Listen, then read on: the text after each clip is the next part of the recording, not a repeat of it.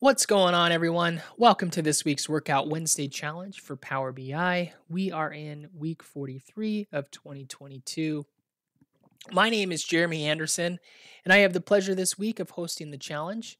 Uh, we are going to be focusing on incorporating conditional formatting into our report. So perhaps you are familiar with conditional formatting uh, as it applies to, say, the, the table or the matrix visual and that's great, but we can certainly go above and beyond that in Power BI with applying uh, color formatting to uh, items such as a, a background color um, and, and as well as the color of our um, columns in our bar charts. So here's just a quick look at the, um, the final product that we're going for. Uh, we want to see blue if current year sales are up compared to last year, and we want to see orange if current year sales are down compared to last year. And we also want it to dynamically change so that as you select different items in your filters or as you click on different elements in your visual, uh, those, those colors change as well. So here's what we're going for. Uh, and with that, let's go ahead and get started. First things first, we will get data and we will be using our sample superstore data set. I'm going to use the online data.world connector. Continue. And for that owner field, uh, basically here's the link to the data set. It's going to be this nerdy with data. And in the dataset ID, that will be our sample dash superstore.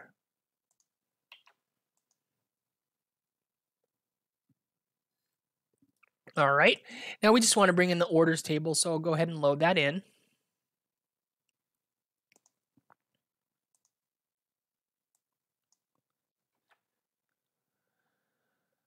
All right, excellent. Uh, now, this is an optional step here, but it's certainly a good practice, which is creating a dedicated calendar table. So, under the data view, I'm just going to go ahead and add that um, by clicking on New Table. And then I have a lot of my um, a lot of my DAX um, already pre-created, so I'll just go ahead and uh, paste those items in as we go and explain along the way. So this is going to be the code for our uh, the start of our dedicated calendar table.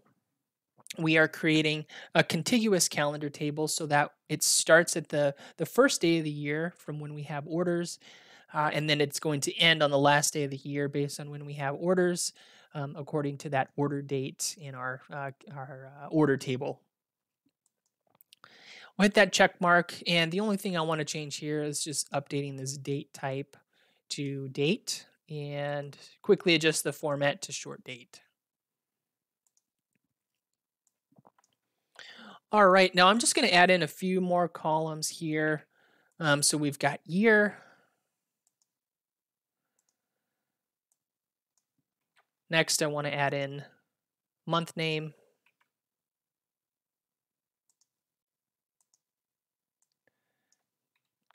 Then I want to add in a flag for current year. So this is going to flag uh, each row of the calendar table. So each row is a day, uh, a date. Uh, it's going to flag um, each row as true or false based on whether or not it is uh, within the current year.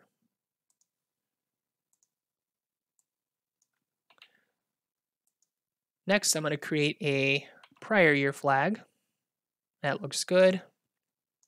So very similar, true, false for prior year flag.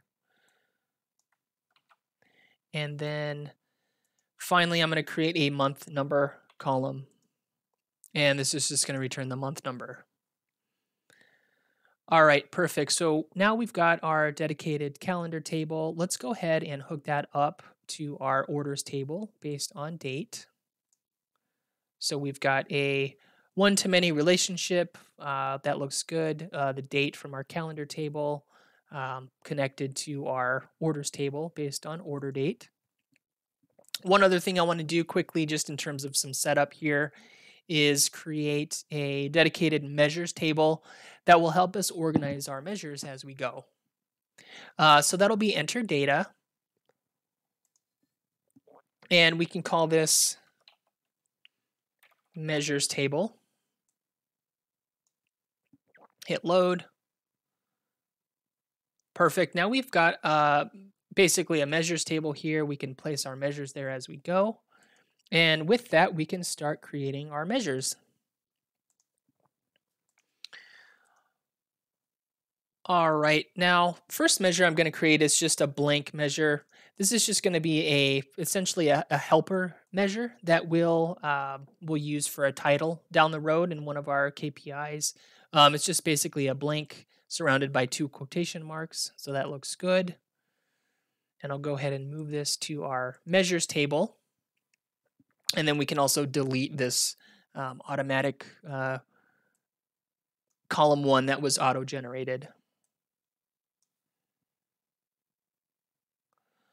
All right, next we will create a total sales measure. This is just going to be uh, sum of sales. That looks good.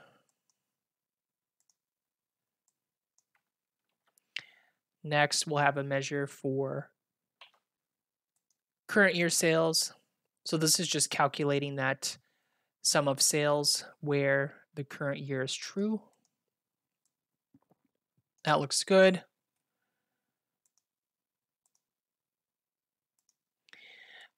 Next, we will create a total sales prior year measure. Very similar, so we're just calculating the sum of sales where the prior year is true. That looks good.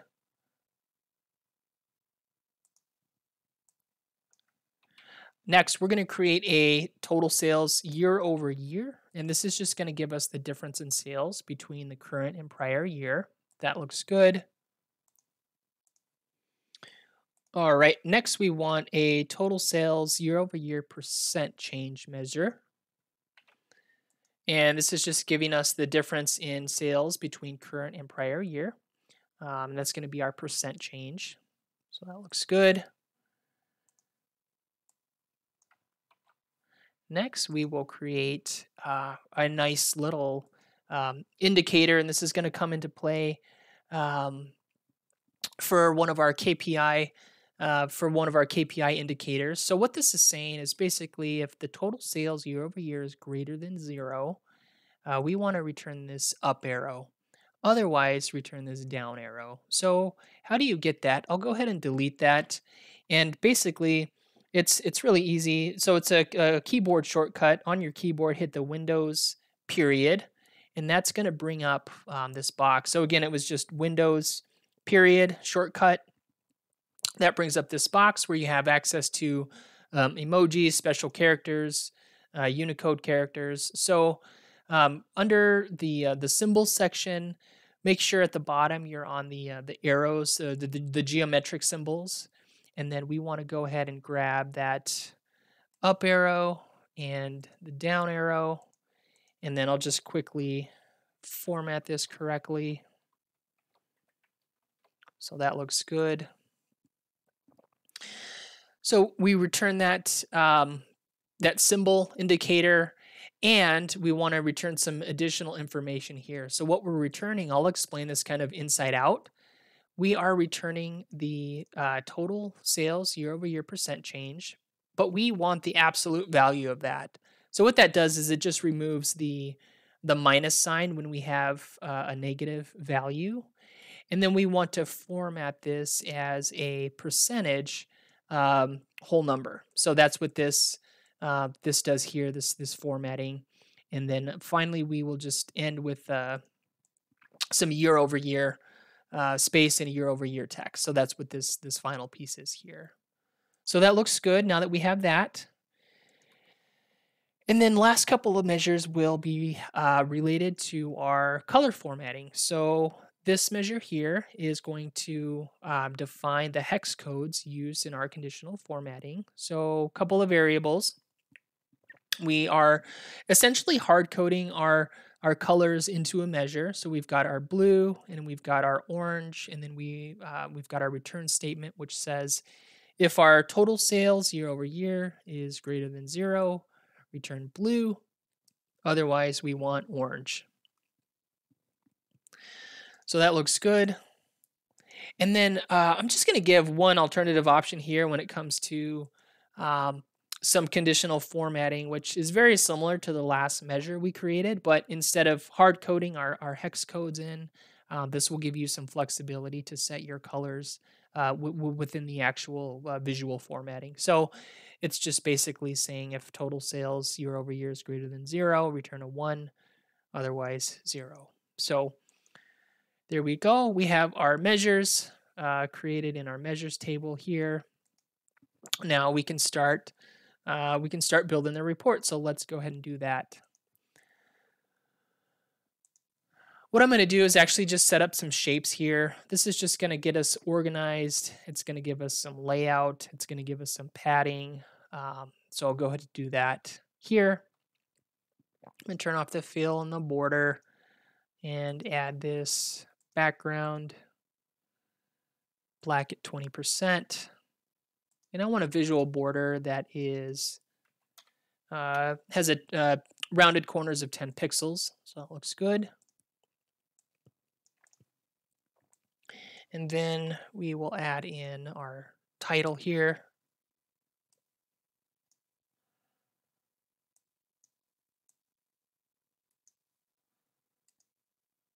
Turn off the background.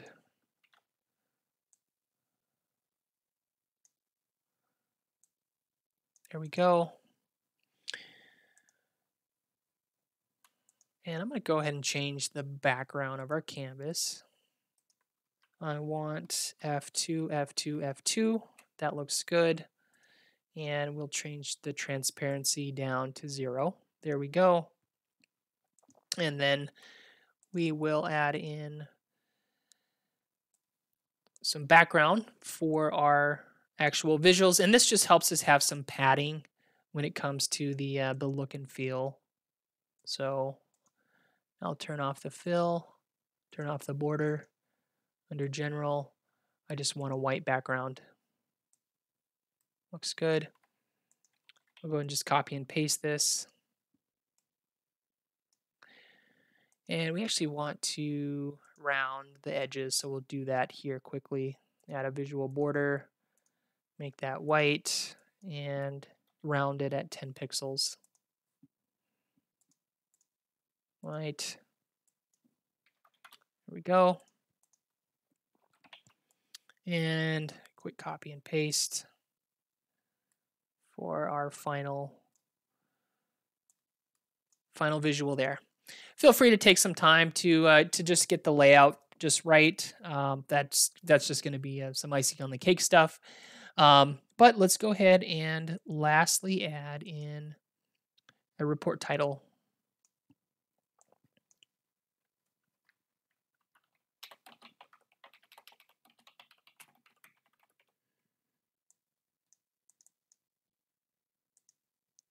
Set this to 20, make it bold, turn off the background.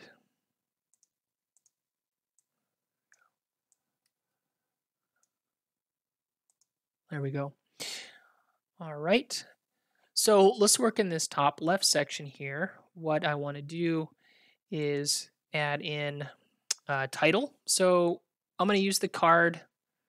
And the reason I'm doing this is just because um, I want consistency in terms of the font, um, and I want to have a little bit more control um, over the actual look and feel of this this whole section here, with just some added spacing that I can't really get from the um, from the from the formatting of a, of a regular card. So this is where that blank measure comes into play. So we'll we'll add that here. Um, it's going to add a blank right there, so we can remove that by taking off the category label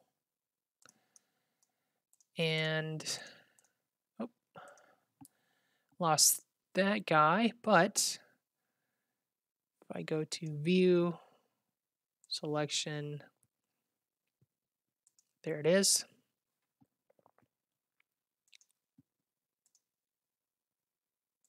Add in our title, current year sales. Perfect. Go and bump this up to 16.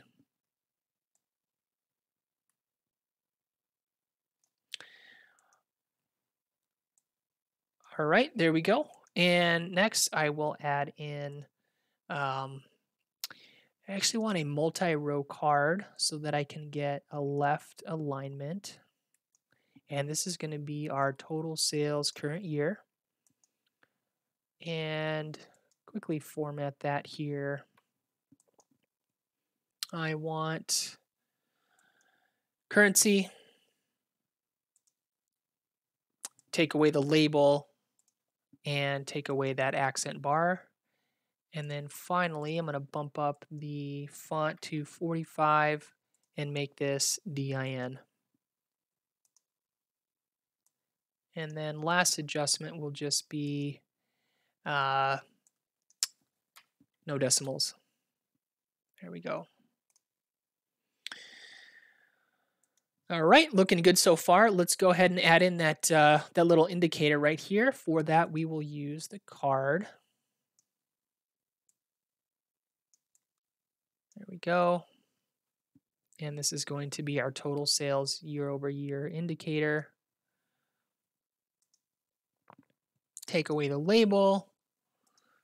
Change the size of the callout value to 16. There we go. Now we need to apply our conditional formatting. So under, under the general section, uh, go to effects and then in background, anywhere you see this FX is where you have um, uh, access or a window into conditional formatting. So under the format style, we'll move this to field value and we'll make this our, uh, our blue-orange measure that we created.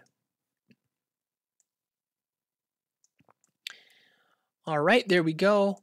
Um, now I want to update the look and feel. We'll turn the visual border on and we'll move the, the um, rounded corners actually all the way up to the max to give us that nice, uh, nice, nice little pill look. And then I want to uh, change the colors there of that visual border and basically apply the, the same exact uh, formatting that we did to the background.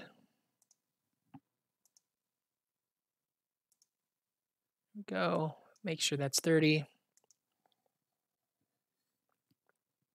All right, there we go. First section is done there. Now let's go ahead and work out our um, our actual current year sales by month over here. So you could certainly do something like a stacked column chart, which we'll start with, but then move over to more of a, of a bullet chart look. So for the x-axis, we will have month name. For our y-axis, that will be total sales current year. And before we get uh, any farther, let's go ahead and add in our colors that we're using. So that blue and that orange, let's just go ahead and add that into the theme so we have access to it. So um, just under view, I'm going to customize the current theme. And I'm just going to change this blue here to our blue that we're using. And then the same thing for the orange.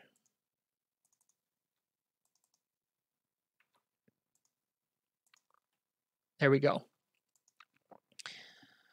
we need to adjust the month name and we need to sort this by month number.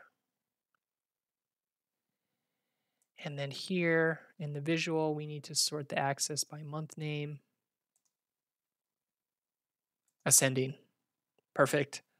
So there we go. Now, in terms of just applying the um, conditional formatting, we can definitely do that here under um, your your visual format options. So under visual colors, same same setup here. So you've got your your field value. Um, we'll select that measure blue orange. Looks good, right? So the alternative that I talked about, let me just explain how to use that. So basically, if you didn't want to hard code your, your colors into your measure, um, what you can do if you wanted to have some more flexibility is um, set the format style to uh, rules and base that off of that alternative that we created. So we want to say if the value equals 1, we want this to be that blue. Otherwise, if the value equals 0, we want it to be that orange. and click OK. There we go. So this just gives you some added flexibility in terms of setting your colors within within this uh, visual formatting as opposed to the actual measures. So with that, um, I actually want to have a, a, nice little indicator or a, nice line here. So just so we have some extra context to know where were the prior prior year sales um, compared compared to the current year. So for that, I'm going to actually create, uh, bring in a custom visual, and I'm going to use a bullet chart. And I was looking for something that was pretty simple and easy to use, which is this bullet chart by OKViz. So we'll go ahead and bring that in, add that.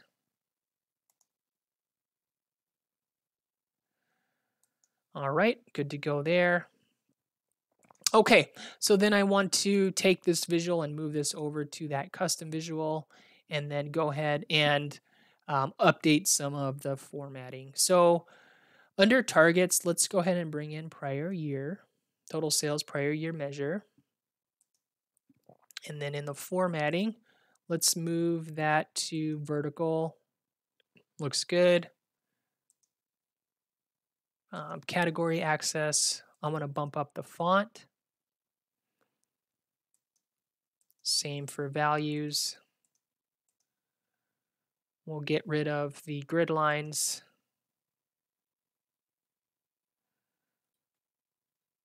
Looks good and then we'll take off the states. Um, so far, so good. Uh, for the colors, let's go ahead and do that. So it's pretty simple actually. Under conditional colors, um, all we're going to do is set that to orange. Basically, what this is saying is if the value, so if the current year, which is our value, is less than total sales prior year, return orange. We have uh, access to some different um, conditions here, but this is what we want. Um, so that looks that looks good. Um, we also want to just quickly update the color of our target there. Perfect. Okay. And then lastly, I think we just want to update the title here. So we'll call this current year sales versus prior year sales by month. Eh, maybe current year versus prior year sales by month. I think that works. All right. Again, feel free to to take some time to just get this the formatting just right, but um, that's what we're going for. So for months where we have uh, sales in the current year that are higher than last year, we've got blue. Um, where they're lower compared to prior year, we've got orange, so that's looking pretty good. Let's go ahead and add our, our last visual, which is going to be um, basically sales by sales by category.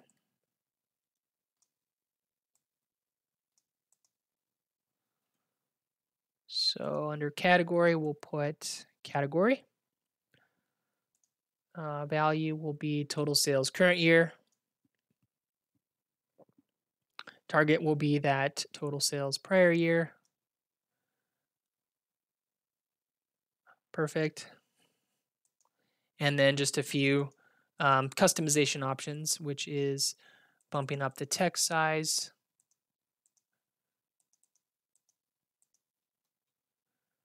I'll turn off grid lines.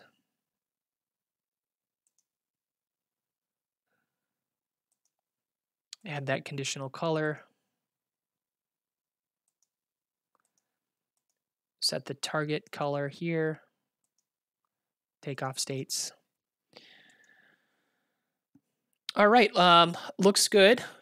Uh, what we want to do is make another update to the options and settings. So as you can see here, if I click on December or, or any month here, it's it's actually highlighting um, this other chart and we want it to filter it instead of highlight it. And we can actually control that globally under File Options and Settings. Under the options area. For our current file in the report settings section, we're just going to change. So check this box here, change default visual interaction from cross highlighting to cross filtering and click OK. So now if you click on uh, a bar, it's going to filter instead of highlight, which is what we want.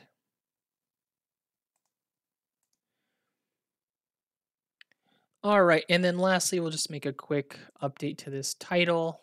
We'll call this current versus prior year sales by category. Perfect. And we'll just have this matchup. We'll call it current versus prior year sales by month. That works. Okay, great. Again, take some time to get your um, formatting just so, uh, make some adjustments. Doesn't have to be perfect here for this first pass through. Um, lastly, just for some some icing on the cake, let's go ahead and add in a um, legend here at the top along with the filter. So we will add a slicer for region.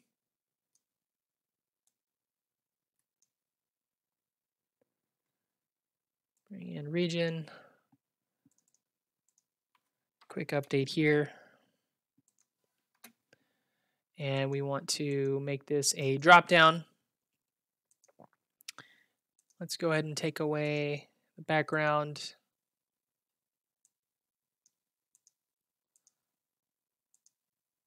Looks good. Great. And then uh, we will use uh, just some shapes and text box text boxes for our custom legend. Um, here, let's see. That looks good for the color. We'll take the border off. That's what we want to do. And I just want to make this 16 by 16. Great.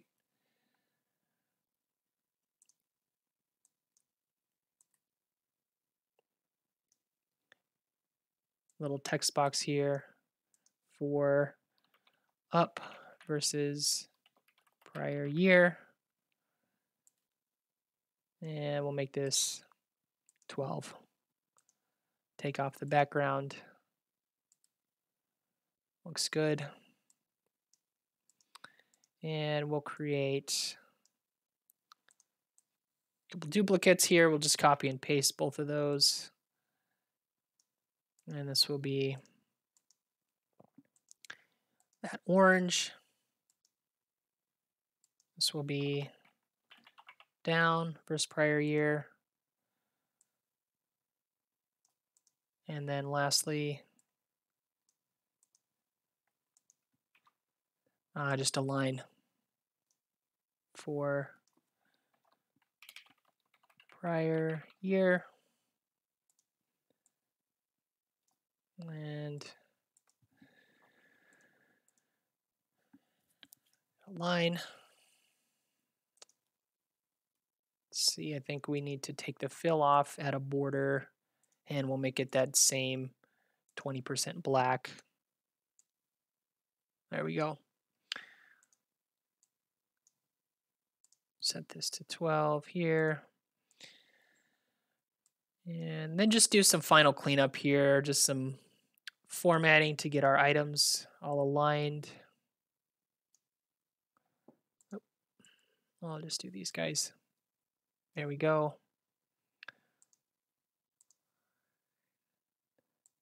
There we go.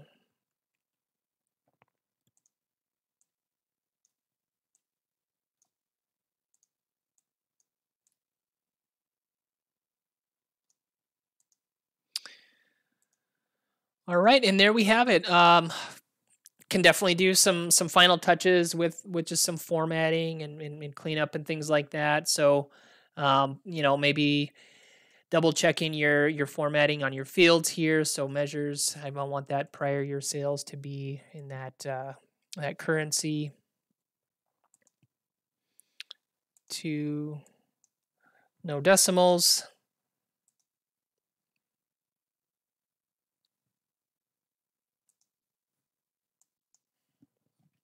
Go.